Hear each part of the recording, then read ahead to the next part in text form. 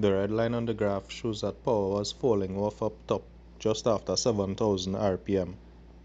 This was because we tuned the car to be on the richer side with less timing closer to the rev limit, as we're on pump gas, octanium and meth injection.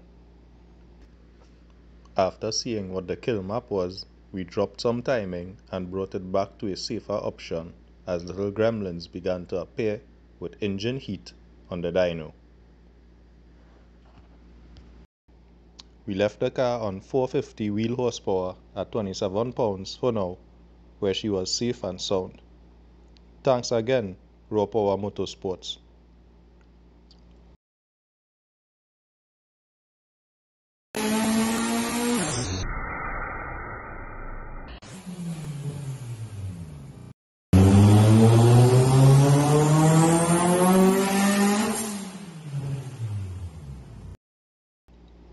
Let's test it to make sure all is well.